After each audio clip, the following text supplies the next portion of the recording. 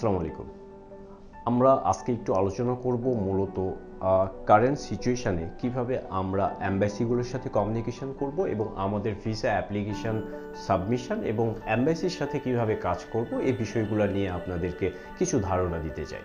So আমরা current সিচুয়েশানে আমরা জানি যে খুব চ্যালেঞ্জ একটা পয়েন্ট যাচ্ছে ট্রাভেলারদের জন্য, যে আমরা কীভাবে অ্যাম্বাসিতে আমাদের ডকুমেন্ট সাবমিট করব অ্যাম্বাসি তো এখনও বন্ধ আছে, এই বিষয়গুলো নিয়ে আমরা কিন্তু প্রতিনিয়ত শুনছি।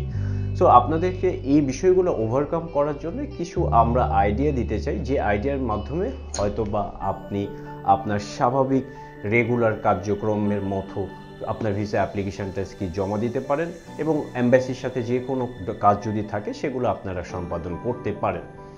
সো আমরা যদি এক্সাম্পল দিই, অনেক অ্যাম্বাসি এই কারেন্ট সিচুয়েশানে কিছু সহজ পন্থা নিয়ে আসছে, যেগুলোর মাধ্যমে তাদের তাদের এই কারেন্ট সিচুয়েশনকে ওভারকাম করছে।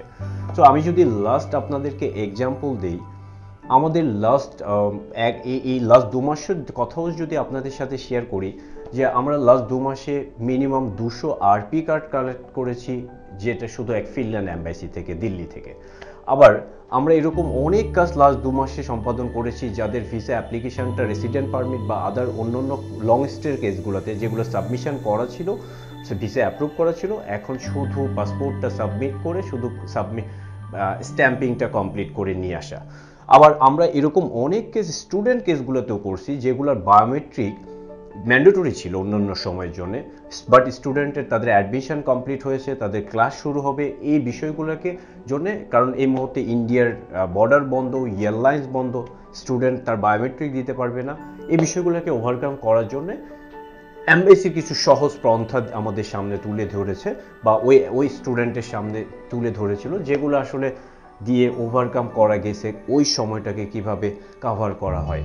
সো আপনাদেরকে এটুকু বলা, এক প্রত্যেকটা অ্যাম্বাসি রেগুলার কার্যক্রম কিন্তু অলরেডি করছে।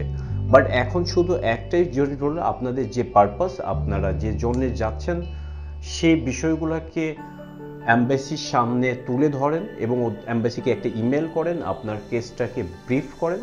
তা এবং একটা সাবমিশন বা কালেকশনের জন্য একটা পারমিশন চান। বাকিটা আপনি ভিসা থিং অফিস বাংলাদেশের সাথে যোগাযোগ করেন। আপনার আপনার বিষয়টা কাভার হয়ে যাবে ইনশাল্লাহ। আমি মনে করি এই রিলেটেড যাদের বিভিন্ন অ্যাম্বাসির সাথে কীভাবে কাজ করা যায়, দিল্লিতে অ্যাম্বাসিতে কীভাবে সাবমিশন করা যায়, আপনারা আমাদের সাথে যোগাযোগ করলে বিষয়টা আপনার সহজভাবে সম্পাদন করে দিতে পারব। Thank you